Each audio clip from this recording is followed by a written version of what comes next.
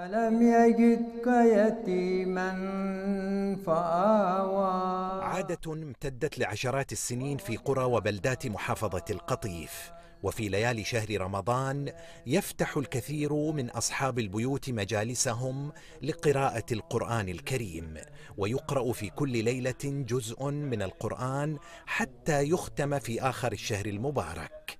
يشارك الكبير والصغير في قراءة ما تيسر من الذكر الحكيم متنقلين بين المجالس ابتغاء الثواب والأجر. بالنسبة إلى مجلسنا هو حسب شهادة بعض كبار السن في البلدة آه، امتد لأكثر من 75 سنة، طبعا إحنا ورثناه عن الوالد رحمه الله اللي هو عن جده أيضا.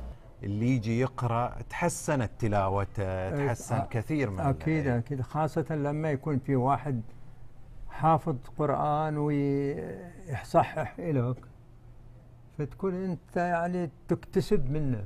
هل تتخيل بأن بلدة التوب الصغيرة التي يسكنها قرابة ثمانية آلاف نسمة فيها أكثر من أربعين مجلسا يقرأ فيه القرآن الكريم وهذا واحد من هذه المجالس؟ خلينا ندخل. المجالس يعني موجودة منذ القدم. إحنا أطفال إحنا نتردد على مجالس القرآن وخاصة في شهر رمضان. المبارك. الله يعود علينا وعليكم إن شاء الله في خير وسلامة.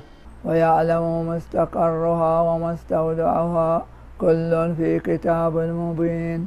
تعلمت القرآن كان كده عشر سنين 12 سنة وقمت خلاني أبوي أدرس من خلالها نتعلم كيفية النطق بالشكل الصحيح كيفية خروج الحروف بالشكل الصحيح نحن الآباء كذلك الأبناء نحرص هذه المجالس للاستفادة.